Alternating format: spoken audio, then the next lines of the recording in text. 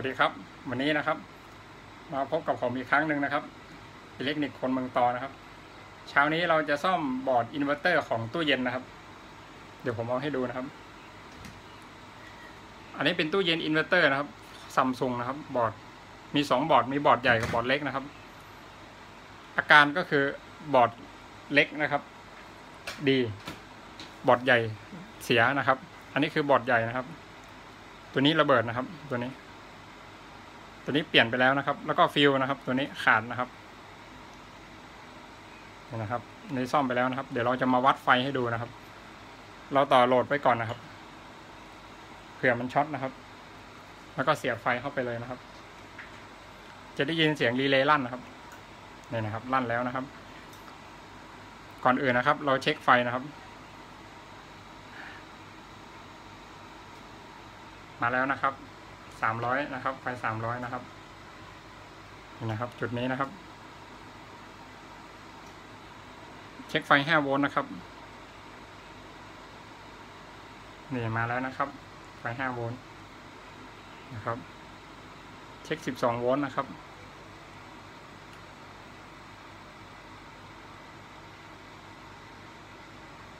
อ่าออกเจ็ดจุดแปดนะครับ ตัวนี้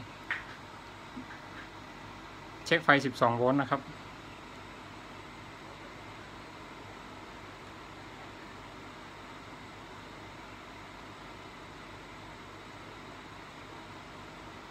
อันนี้ไฟคอมไดโอดนะครับ 7.8 นะครับ ตรงนี้นะครับ อันนี้คือกาวนะครับ อันนี้ไฟ 5 โวลต์นะครับ นี่นะครับมาแล้วนะครับ จุดนี้ไฟ 5 โวลต์นะครับ จุดนี้ก็5โวลต์นะครับ จุดนี้กาวนะครับ ต่อไปดูไฟ12โวลต์นะครับ จุดนี้นะครับเดี๋ยวจิ้มให้ดูนะครับ จุดนี้นะครับ12โวลต์12.5โวลต์นะครับ นี่นะครับ มันจะมีขับปลาอยู่หนึ่งตัวนะครับ นี่นะครับ12.5โวลต์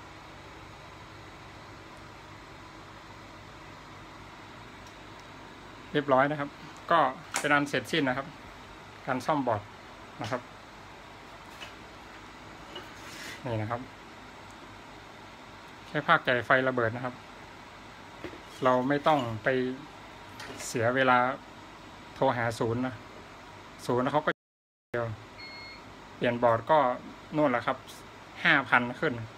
ลูกค้าเขาไม่ซ่อมครับเขาช่างกิโลขายเลย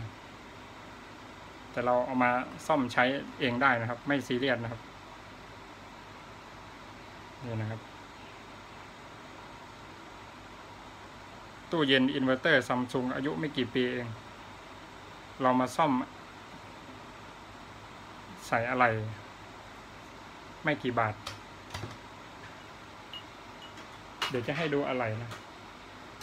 อ่าเดี๋ยวผมให้ดูนะตัวที่มันเสีย คือตัวนี้ ตัวนี้เป็น IC switching ครับ เลี้ยงบอร์ด นี่เป็นเมนบอร์ดมัน ส่วนบอร์ดนี้ คือบอร์ดไดจะมีไฟสามเฟสออกตรงนี้ UVW ไปเลี้ยงคอมเพรสเซอร์ของตู้เย็นนะครับ แบรนด์ซัมซุงนี่นะ บอร์ดเนี้ยเช็คแล้วไม่เสียฟิวส์ไม่ขาด แล้วก็ตรง output เนี่ยไม่ช็อตนะครับ เราเทียบวัดกับกราวด์เอานะครับเทียบเทียบตรงนี้นะครับ มันจะมีไฟออกอยู่ร้อยกว่าโวลต์นะครับร้อยเจ็ดสิบโวลต์นะครับ ตัวนี้ เป็นไฟกระแสสลับนะครับ มันเอาไฟตรงมา rectify มันเอาไฟสลับมา rectify ก่อนนะครับ แล้วก็เอาขับปลาเนี่ยฟิลเตอร์ แล้วก็เอาตัวนี้ไปไดตู้เย็นอีกทีหนึ่งครับ บอร์ดเนี้ยอยู่ประมาณพันกว่าบาทนะครับ บอร์ดนี้ก็เหมือนกันนะครับ ถ้าเปลี่ยนใหม่ก็พันกว่าบาทนะครับ แต่ถ้าเราซ่อมอะไรแบบเนี้ย ซื้ออะไรมาใส่เนี่ยอะไรตัวนี้ตัวห้าสิบบาทนะครับ ถ้าโทรหาศูนย์ศูนย์ก็จะบอกว่าให้เปลี่ยนบอร์ดนะครับ รวมค่าบริการแล้วห้าพันนะครับเนี่ยถ้าโทรหาศูนย์แต่ถ้ามาซ่อมซื้ออะไหล่มาซ่อมเองห้าสิบบาทครับ แต่ต้องรู้ที่ซ่อมแล้วก็ต้องรู้วิธี test นะครับ อันนี้เป็นแอร์รุ่นใหม่แอร์อินเวอร์เตอร์อายุ น่าจะประมาณสามปีสี่ปีนะครับ อายุยังไม่เยอะนะครับ แต่ที่มันชอบพังง่ายๆ ก็คือ มันร้อนไอซีนี่มันร้อน เราต้องติด heat sink อย่างนี้ ติดให้มันระบายความร้อนอย่างนี้นี่อย่างนี้ให้มันระบายความร้อน แล้วก็ไฟไฟที่เข้าตรงเนี้ยบางทีมันไม่นิ่ง ไฟตก ไฟกระชาก ไอตัวนี้ก็พังได้ครับชุดเนี้ ชุดนี้เป็นชุดไฟเลี้ยงมันทั้งหมด แต่ถ้าเราขี้เกียจซ่อมเราก็ซื้อบอร์ดใหม่เลยใน ในเน็ตมีเยอะแยะครับ ตัวนี้ ดูให้ตรงรุ่น ดูปลั๊กอะไรอย่างเงี้ยให้มันหน้าตาให้ตรงรุ่น แล้วก็ซ่อมเองก็ได้ มีแค่ไขควงตัวเดียวก็ซ่อมเองได้นะครับ ไม่จำเป็นต้องจะรู้มีความรู้มากก็ซ่อมเองได้ เพราะว่าปลั๊กเนี่ย มันเสียบสลับกันไม่ได้อยู่แล้ว อันนี้มันสามรูอันนี้มันสี่รูอันนี้สองรูอย่างเงี้ยมันมันสลับกันไม่ได้อยู่แล้ว มันจะตรงของมันเลย